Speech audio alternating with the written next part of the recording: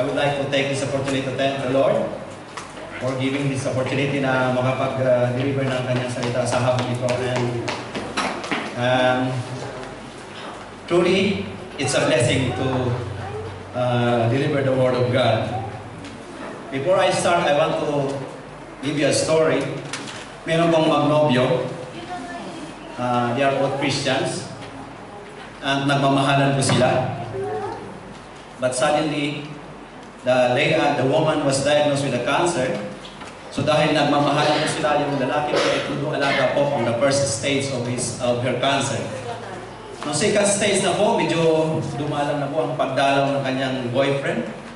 On the third stage, talagang halos di na po nagpakita. And, and the fourth stage, talagang lumipat na ng chairs at hindi na po sila nakita. In short, namatay po ang babae at pumunta sa langit at the gates of heaven. Sabi niya kay Peter, Peter, pwede na ba ako pumasok? Sabi ni Peter, not yet. You have to spell correctly a word bago ka pumasok. The, kung paano ka mag-spell ng word will depends, uh, it will uh, affect the seat of your, uh, uh, sa iyong upuan sa langit.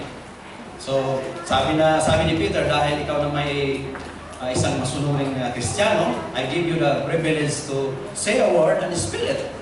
Sabi ng babae, love, L-O-V-E. So sabi ni Peter, welcome to the gates of heaven. So, sabi ni Peter, I will take a break and stand on the gate, do exactly what I did to you.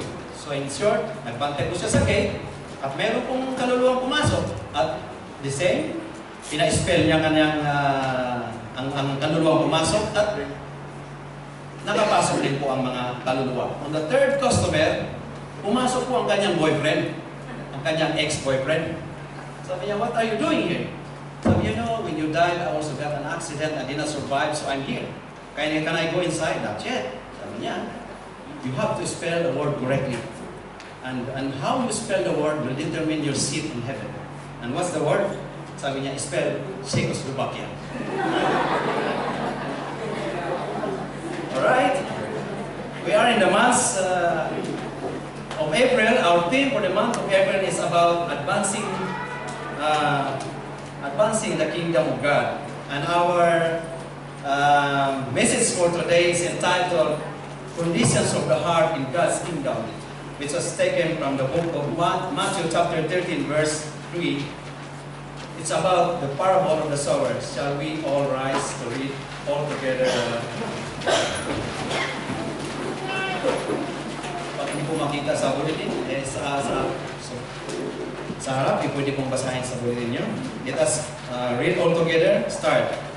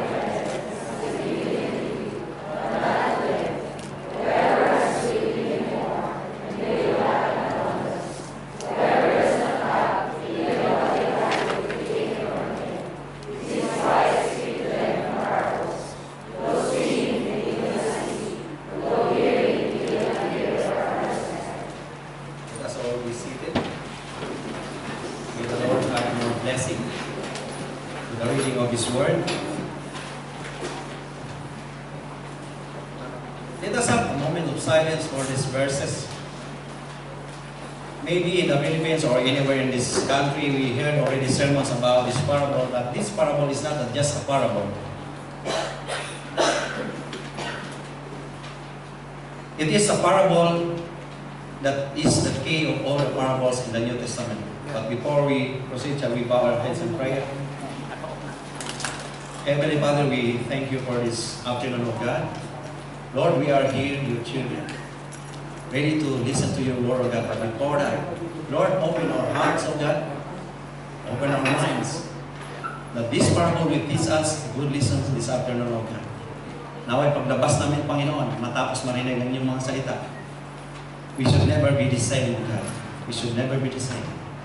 This parable will teach us the real message as you teach us, O God. So, Lord, take over in this congregation. Use me, O God, as an empty vessel, O God. I know, O God, apart from you, I cannot say anything. I entrust to you. I entrust to you. Your message is there, O oh God. Bless your people through your message. Holy Spirit, I ask in Jesus' name. Amen. What is a parable? Lagi natin narinig parable, di ba? A parable is defined by, uh, in the dictionary as short story is used to teach some truth or moral lesson, or it is literally something cast alongside something else. Ibig sabihin, it is a short story, a worldly story that is having a heavenly meaning. Ang ating pong Panginoon, gumagawa po siya ng mga story, mga common stories that is happening in our lives, in, in their time and also in our times, para po mapulutan ng aral. So a parable, in this, uh, in this, uh, in this uh, verse, in this verse that we have read, is written in many, many parables in all the, in all Sa book po ng Matthew, Mark, and Luke, and John, mayroon po makikita kayo red, red text sa inyong mga Bibles, di po ba? Pag naka-red po yung mga words na yan, ibig sabihin po yan ay nanggagaling po sa salita na, ng ating Panginoong Isus. And 30, 30% of that, or one-third of that red text in your Bible are written in parables. So napakahalaga po. Bakit po? Sabi po, sabi po nga sa verse 10 kanina, kung nabasa natin, why in parables?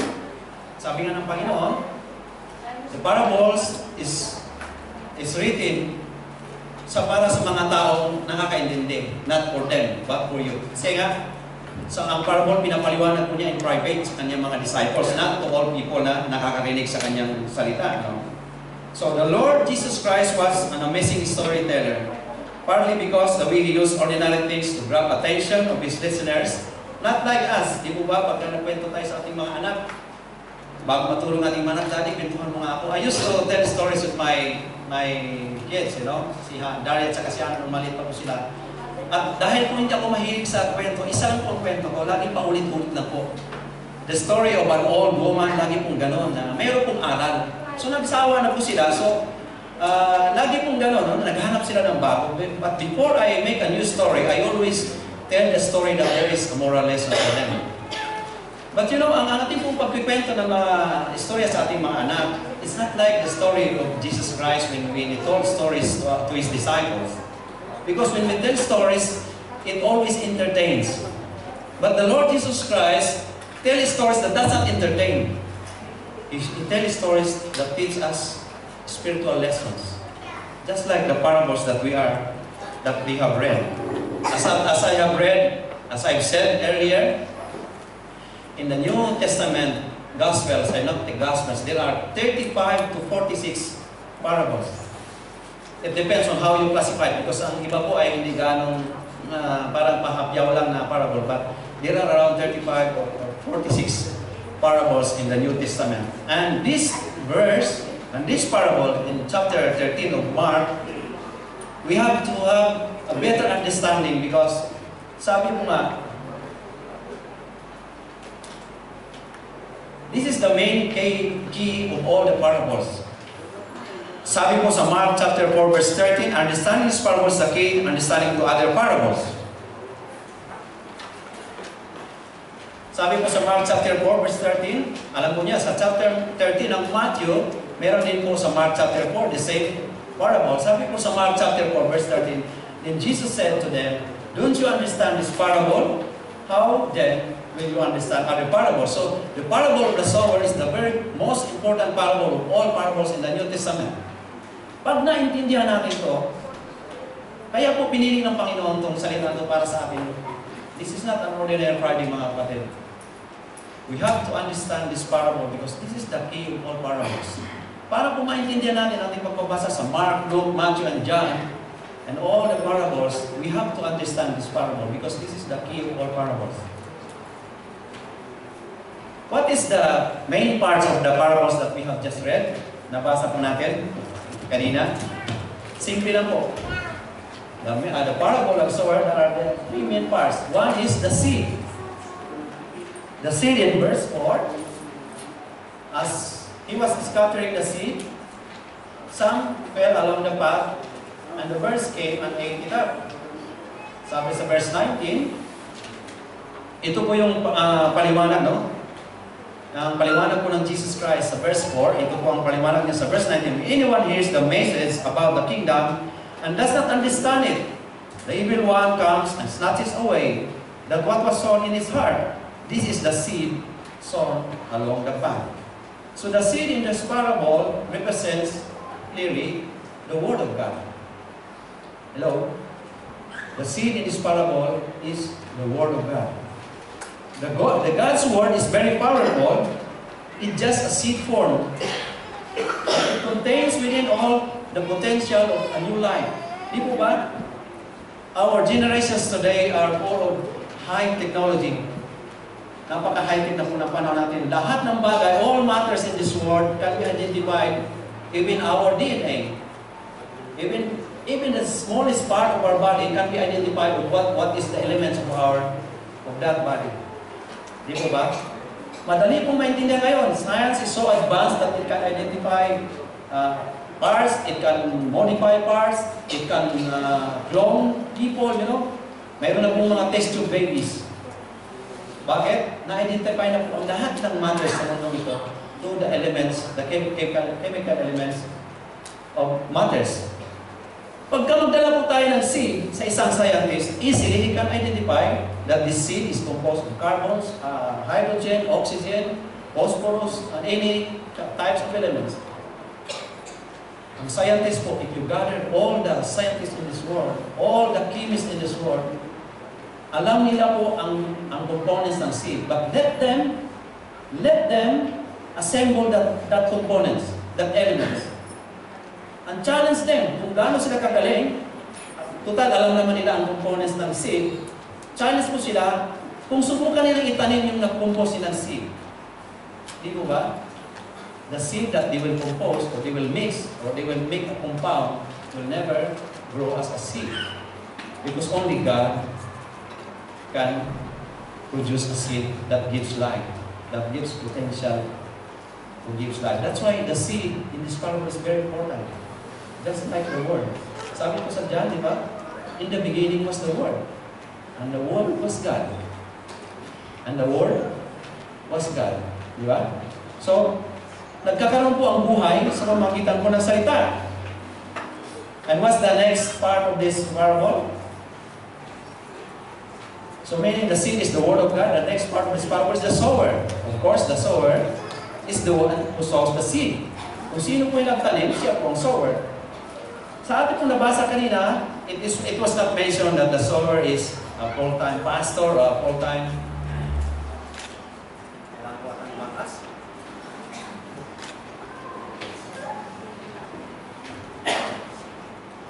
It's a full-time pastor, a full-time elders, or uh, anybody uh, preacher. Wala pong minention, di ba? So the sower in this parable is the one who shares the word. If you share the word, if you speak the word to uh, uh, any people in the coffee shop, in the office, and you're in an airplane, you are the sower. You belong to the principle of the sower. Anybody who shares the word is a sower. So the third, um, the third part of this parable, the third part of this parable is the soil. So meron na tayong seed, meron na tayong sower, of course, to complete, para po tayo makapagtanim. Alam na alam po ni Sister Mabel yan, at si Sister Jane, di ba? Meron po silang maliit na farms. So para po mabuang yung tanim, you have a seed, you have a sower, and you have a soil. If one is absent, you cannot plant a seed, or you cannot uh, produce a crop. Kailangan po kompleto po ang ating um, uh, uh, components para makapagtanim tayo.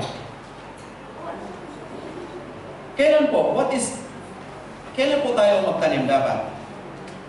When is the right time to plant? Di po ba sa Miracle Garden, lagi pong November, December, January lang? Bakit po? Why not in May, June, July? Para po lahat ng buwan makapagpasyal tayo sa Miracle Garden. You know why?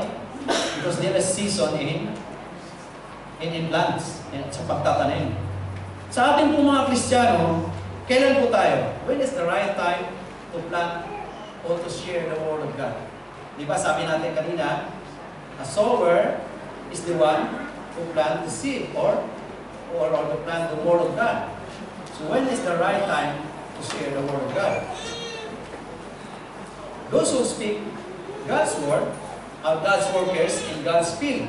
So ang tanong, kailan ba tayo magtanim? Sabi po sa sabi po ni sabi po sa 2 Timothy Sabi po sa 2 Timothy chapter 4 verse 2 Preach the word, be prepared in season and out of season, correct, rebuke, and encourage with great patience and careful instruction. So when is the right time to speak God's word? It's always the right time. It's always the right time, anytime, anywhere. Hindi katulad ng pagtatanim natin sa ating maliit na garden na kailangan hindi lang hindi summer, di ba? So to preach the word. Sabi ni Paul kay Timothy, preach the word, be prepared in all season. Kaya nga nung tinawag po ako ni Pastor, hindi po ako naka-stop at uh, nilapit lumapit po siya sa akin sa pagsasalita po ngayon. Ay parang gusto ko magkaroon ng dahilan para hindi po makapag-preach. Alam niyo kung bakit? Kasi birthday po ng asawa ko. Hindi ko ba? Alam mo yung asawa ko pag nag-birthday yan, kung saan saan pupunta. Marami po siyang dal- dinadalaw. Bago po dumating ang kanyang birthday, kahapon po tumakas, nag-iisa pumuntang Dubai. Meron din po daw siyang dinalaw doon, hindi ko po alam kung ano dinadalaw niya. So, ako rin po. At uh, pagka may preaching skill, talaga po hindi ko po maintindihan ang sarili ko. Kaya, mayroon po akong dahilan na tumangin para po hindi makapagsalita. Pero sabi po nga ni Paul, narinig ko po na po sa Saudi Arabia, Preach the word. Preach the word. Be prepared. Kaya po kayo, pagka po may naasahin kayo sa prayer meeting, huwag po kayo matakot. Huwag po kayo maghanap ng dahilan, di ba po? Pag kayo naasahin ka sa prayer meeting, naghahanap tayo ng mga dahilan, kung ano ng mga dahilan, di po ba? Para lang hindi ko makapagsalita kung ano ng mga lakad ang nangyari. Sabi ni Paul, be prepared in season and out of season. Correct, rebuke, and encourage. But take note mga mga kapatid, sa ating pagdadala ng salita ng Panginoon, we have great patience. It's not just, you know, just uh, spreading the word, the scripture, uh, 24-7, na wala ng timing, wala ng pasensya, wala ng preparation. Di ba? Sabi ni Paul, with careful instruction. Hindi po yung may katabi ka lang, kung saan-saan, masyado kang gigil, ano? Kapatid, wala din ka ba? Hindi. Naku, hindi ka pa kapatid. Sabi dito sa Biblia, sabi sa Romans chapter 6.23, ang kabayaran ng kasalanan ay kamatayan. Hindi po ba? Hindi nyo pa na-share si Kristo, ipinapatay nyo na. Hindi po ba? So mag-iingat po tayo, sabi ni Paul, you have to have a great patience. When you preach the word, you have to have a careful instruction. Mag-prepare po tayo in season and out season. Hindi po, ako baka bigla ng tawag ng prayer meeting. Absent lang, nagbakasyon tayo naka-schedule na yun. Di po ba? Mga kapatid, let us be prepared. Yan po ang bilin ni Paul kay Timothy. Let us be prepared in all season. Hindi po katulad sa pagtatanim na mayroong summer lang at mayroong pang winter, di po ba? Lahat po tayo maging handa. This is part of our growing in the knowledge of God. what's next? The soil represents here. The soil represents the mabasa. The human heart. So, kompleto na po tayo. Handa na po tayo magtanim. Handa na po tayo mag-share ng salita ng Panginoon. Di po ba? So, this is the main focus of our parable. In fact, it is titled as Parable of the Sower, but most scholars call it the Parable of the Soil. Because the soil represents the human heart. This is where we have to prepare ourselves, our human heart. It is aimed at the hearer of God's word, and the soil represents the human heart. Our title of the title of our message today is about conditions of the human heart. This is what we have to hear about this afternoon. So what are the conditions of our heart? Di po ba? Marami na po dito ah, matagal ng Kristiyano, may mga bago naman po. At meron naman pong uh, kailan lang naging Kristiyano. Hindi po pinag-usapan kung matagal na o bago tayo isa. The conditions of our heart it, not, it does not depend on how long we have been a Christian. It depends on how we prepare our heart. The first conditions of our heart is the wayside heart or the seed along the path. Yung kung nahulog lang sa kalsada, na hindi siya makapag, ano eh, hindi siya makapagbugat dahil walang, walang, ah, wala pong ah, lupa, ano. The wayside is called the heart, hard heart. Pusong bato sa Tagalog. Hindi mo ba? Sino mo ba ang pusong bato dyan? Basahin po natin ang verse 4. Sabi po sa verse 4, sabi po sa verse 4, As he was scattering the seed, some fell along the path, and the birds came and ate it up. Sabi, pinaliwanag po niya ng Panginoon sa verse 19, When anyone hears the message about the kingdom and does not understand it, the evil one comes and snatches away what was sown in his heart. This is the seed sown along the path. Sino po ba dito ang may pusong bato? Praise God, walang sumagot. Jesus said that the word is, of God is sown in this kind of heart. The birds of the air come and eat it up. The devil comes, snatches out in their heart because they do not understand it. In this person's heart, God's word never gets a chance to grow. Their lack of understanding means that the seed just sit on the ground and never penetrates the heart. So we have to realize that, in that, in- that when God's word is preached, Satan, also is waiting, ready to attempt and snatch it away from your heart. Naalala niyo pa si Kristo nung siya pinabap uh, sa Matthew chapter 3? When Jesus Christ was baptized by John the Baptist, a voice in heaven came saying, This is my beloved Son, whom am I well pleased. This is the very word of God that comes down from heaven, and Satan immediately make his move. He wants to snatch that word of God, the very word of God from Jesus. That's why when Jesus was tempted in the wilderness, was uh, fasted for 40 days, Satan and tried to snatch that word from Jesus. But anong, anong ang sabi ni Pang- ng Panginoong Isos? It is written. It is written that man does not live on bread alone, but on every word that comes from out from the mouth, the word of God. Lagi pong pag tinukso siya ni, Sat, ni Satanas, ang sagot niya, it is written. So no amount of force from Satan can snatch the word that is given by God. You know why? He was only already deeply rooted by the word of God. Tayo po, pagka po tayo sinubok, lagi ba natin sinasabi, ah, nasa Biblia ko, nabasa ko. It is written. Do we use the Bible verses when in times of trials and times of trouble? Jesus Christ set us an example that when we are tempted with the enemy, we go back to the Word. Ganun lang. Hindi mo makapenetrate ang kalaban because we are deeply rooted with the Word of God. The Word of God, the seed that is planted in our heart, is the Word of God na, na ating gagamitin para panlaban sa kaaway. Sabi ko ng isang Romanian pastor, uh, you might be wondering, I sorry, you might be wondering what hardens heart. Ano po ba nagpapatigas sa ating puso? Marami na sa atin, 5 years, 10 years, 20 years, 30 years ng Kristiyano, pusong bato pa rin. Parang wala nangyari. Di po ba? What hardens our heart? Simple lang po. Sin hardens heart.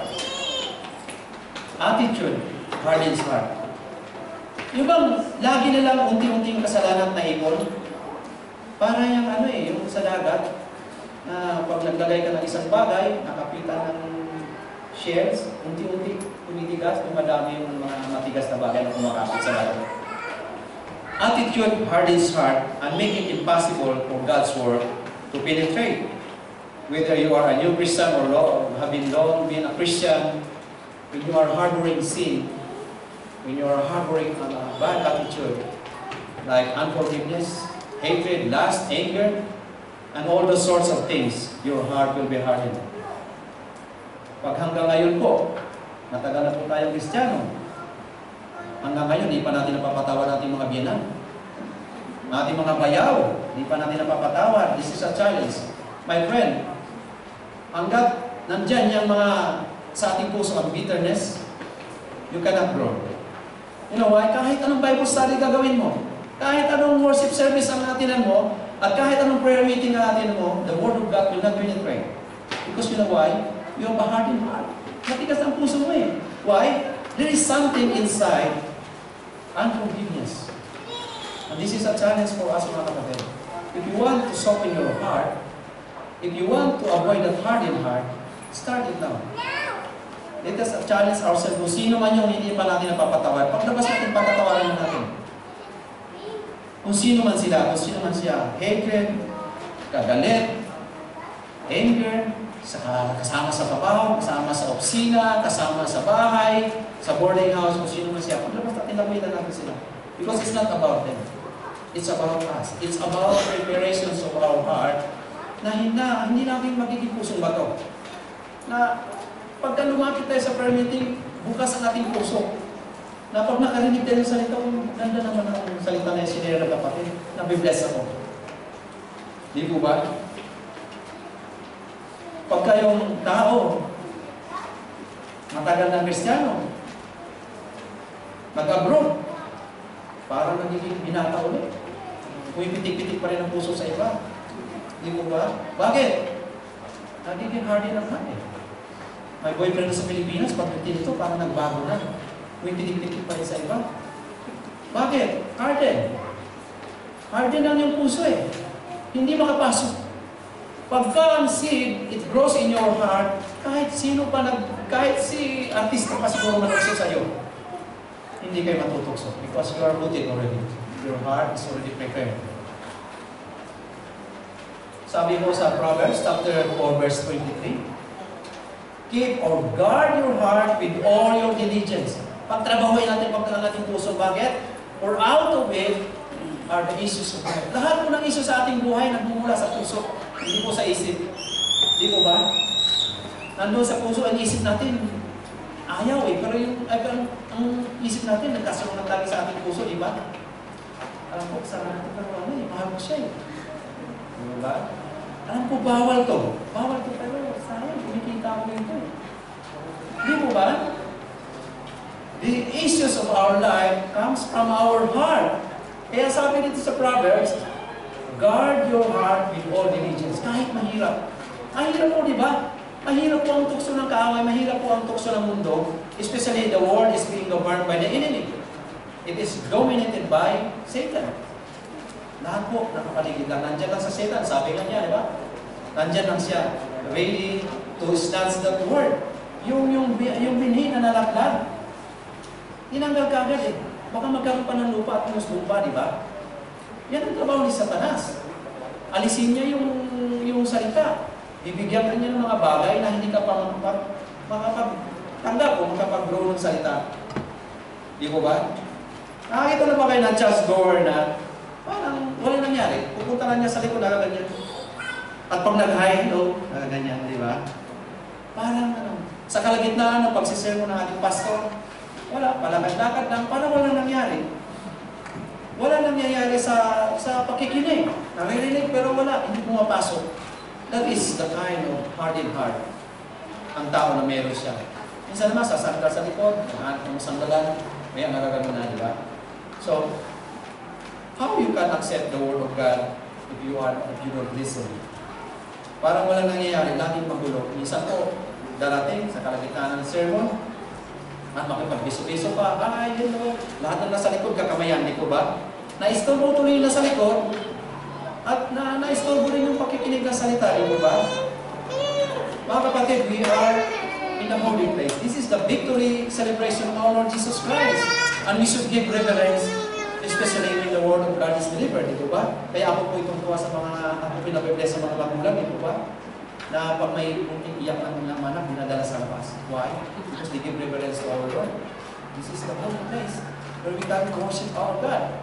We believe in His promise that wherever two or three gathered in His name, there in the midst of God, there in the midst of them, our Lord Jesus Christ. And how much more we are? More than 100 He?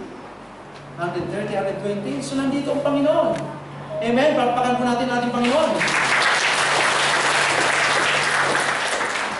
So, the next conditions of the heart is the stony ground, mabato.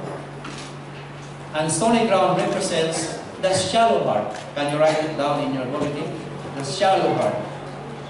Sabi sa verse 5, some fell on the rocky places where it did not much have much soil. It sprung up quickly because the soil, the soil was shallow.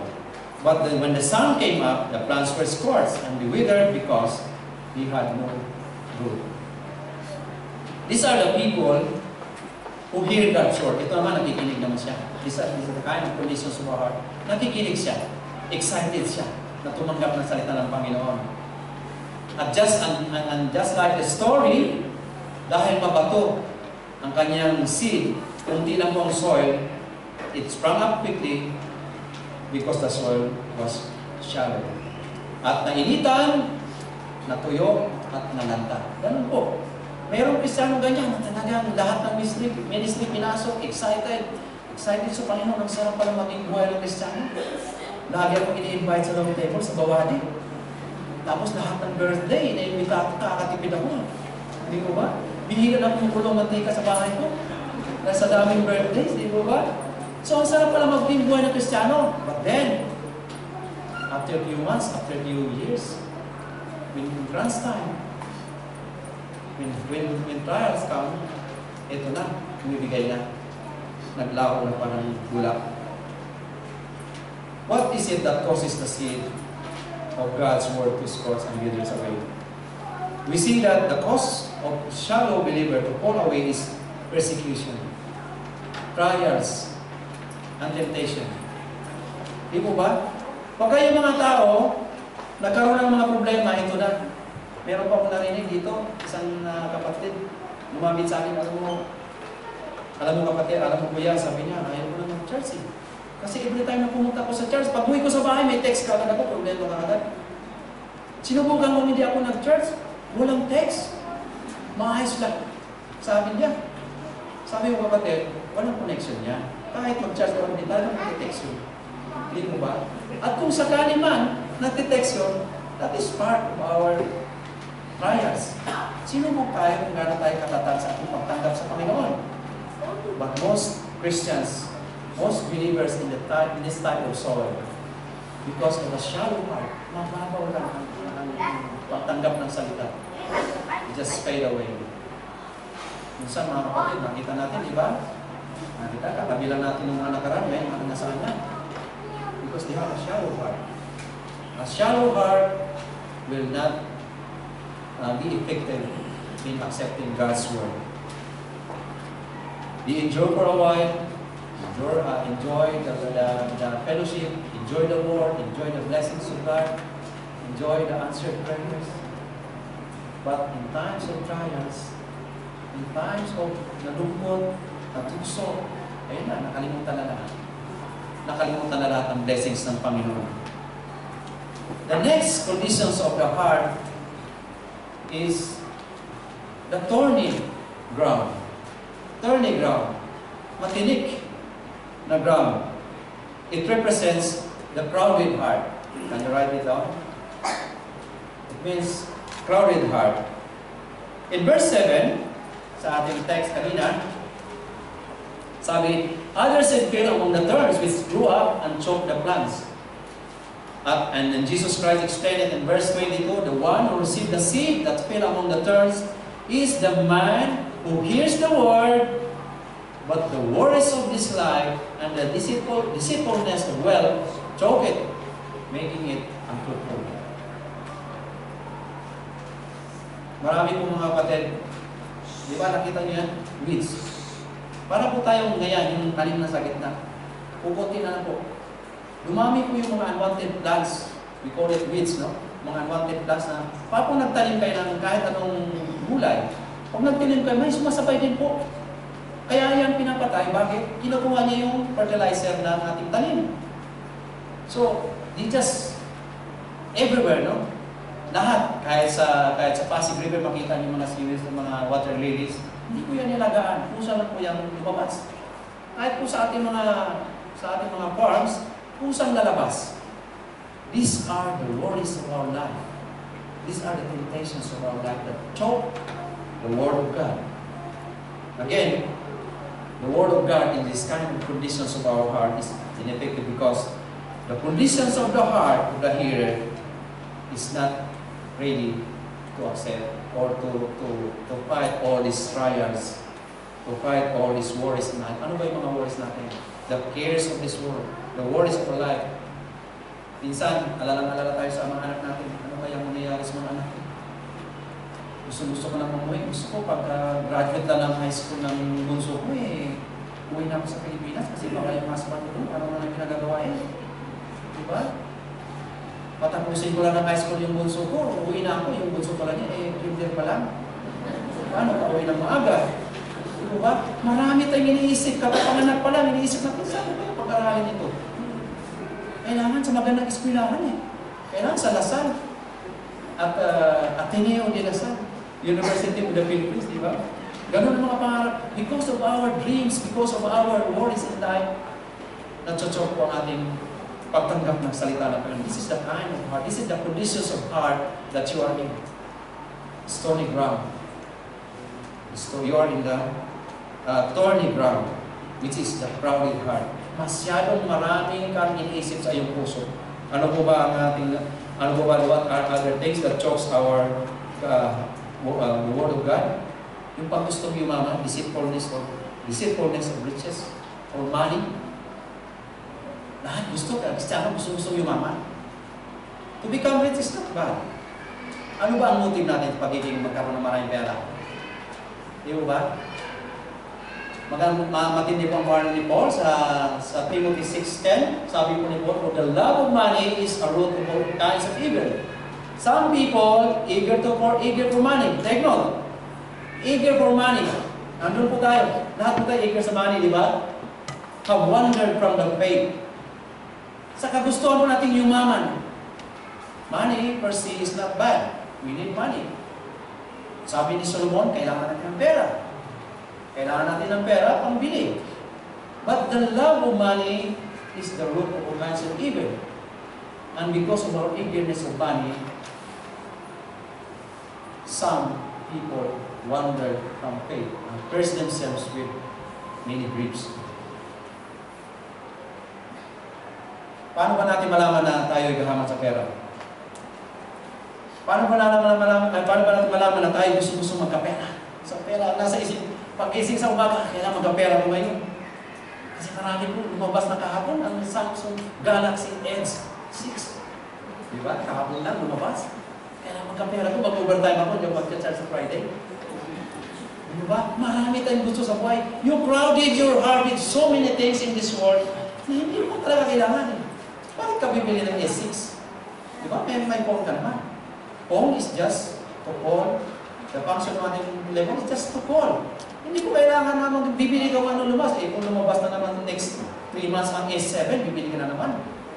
Di ba? We crowded our heart with so many things in this world, nakalimutan na natin ang pag-condition sa ating puso. Hindi na makapasok ang salita ng Panginoon.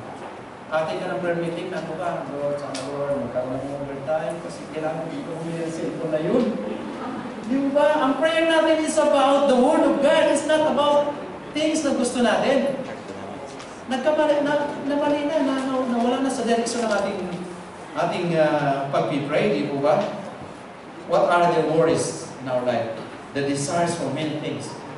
Gusto ko talaga makabahay. O may bahay na, gusto ko talaga makakotse. At gusto kong mga bumili ng uh, mga mga mga insurance para sa mga anak para pag uh, nag-aaral sila, pahiyad-hiyad na lang. Di ba? Napakarami nating bagay na gustong gawin. Ang gusto ng Panginoon, simple lang. Di mo ba? Cultivate our hearts to have a good soil. Hindi yung marami kang worries na hindi mo naman kaya. Di mo ba? It crowds our heart. These conditions of heart hinders our growth as a Christian, mga kapatid. Limits our our worries, limits our desires, and limits all these things are the things na gusto natin hindi naman kailangan. Paano ba natin? Uh, paano ba malaman yung gustong magkapera o yumaman? Basahin natin verse 9. Sabi sa verse 9, People who want to get rich fall into temptation and a trap into many foolish and harmful desires that plunge man into ruin and destruction. Sa sobra nating paghangad ng maraming bagay, sobrang paghangad ng maraming pera, tayo po'y napapahangad. The number one problem of OFWs in the Middle East, especially in Dubai and LA and Abu Dhabi, is money. Financial matters, hindi lang hindi po yung mga runaways, hindi po yung mga moralidad. Ang problema po ng iba sa atin, maraming nakukulong na yung na OFW. Bakit? Because of this verse. Tandaan po natin ito. Sa sobrang paghangad ng mga bagay na papayaman sa atin, we are tempted and we are into the trap. Nahulog tayo sa bita into many foolish and harmful desires sa mundong ito. Mga kapatid, we have to take care with all these desires. Minsan po, pag may seminar about financial matters, hindi atin, alam ko na yan, eh, pinag-usapan yan. Ako pa, nagsabi ko rin, nakawagtan ako. Nag-seminar si Brother Maloy, kung hindi mo mata. Nung nagka-problema, kapatid, sino ba yung nagsiseminar dyan about financial matters? Kasi magpa-counseling ako, makadadaputin ako anytime. Di mo ba? Kung kailan kailangan, saka tayo lumapit. Kung kailan ng preparations, hindi tayo malapit. Hello? Sabi ko ng isang, siguro pag uh, lumapit ka kay Brother Maloy, matapos ka magka-problema, sasabihin ni Brother Maloy, kapatid, alam ko na, I'm expert of this matter.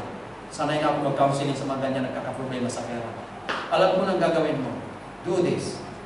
Magpakulong ka. Di ba ba? Sabi mo na isang Romanian pastor, sabi niya, in his experience as a pastor sa Romania, in my experience, 95% of the believers who face the test of persecution pass it. Yung mga taong Kristiyano, yung mga Kristiyano na dumanas ng matinding pagsubok, mga trials, mga problema, mga sakit, 90% of them pass. 5% ang pumumigay. But take note in the second line, 90 per, 95% of the believers who face the test of prosperity, pinayaman ng Panginoon, fail it. 5% lang po ang nagiging faithful sa mga mayayaman. Sino po mayaman dito? Last po ba kayo? Nandun kayo sa 5%, praise God. Kaya po mga kapatid, di ba? Marami po sa atin pinoprosper ng Panginoon. Why? God promised. God's promise is to prosper us, di ba? Hindi tayo papahamak, kundi tayo pagyamanin. Di po ba? It's, it's a matter of attitude. Lahat naman tayo payayamanin. But how you handle your prosperity, just like this. Time comes, pag na-prosper ka na, unti-unti ka na lumayo sa Panginoon, iba na yung mga ito. Masyado ka na nag-alala sa pera kaysa nag-alala ka sa iyong uh, uh, eternal life. Kaya 90, 95% ng mga taong pinagpalang Panginoon nag-faith. Sa sobra kong, di ba? Sobra nating gahaman sa pera, minsan, sobra nating daming gustong gawin. Alam niyo po ang pagbuhuli ng isang unggoy? Alam na mga popors na eh. How you will catch an, a monkey without Yung, hindi binabaril, yung hindi mo siya saktan, paano mo siya hulihin na hindi siya masasaktan? Hindi mo ba? Kasi ang boy, alam nyo, pag nakahawak ng pagkain niya, hindi niya bibitawan. Nakita niyo po yung picture na yan? Ang paghuli ko ng unggoy, gumawa lang po ng maliit na plastic na garapon at may maliit na butas, ang lagyan mo yung pagkain sa loob, just like the, the photo. Pag nakahawak po kayo ng, ang unggoy po, pag nakahawak po ng pagkain, hindi na niya bibitawan yun. Why? Because of his greediness, at pagkain ito eh. Kahit batuhin mo ng batuhin niya, hindi niya bibitawan yung garapon. At mahirapan na siya, hindi siya makapagbaging, ano? Hindi siya makapagtarsan. So mahuhuli mo na siya ngayon. Why?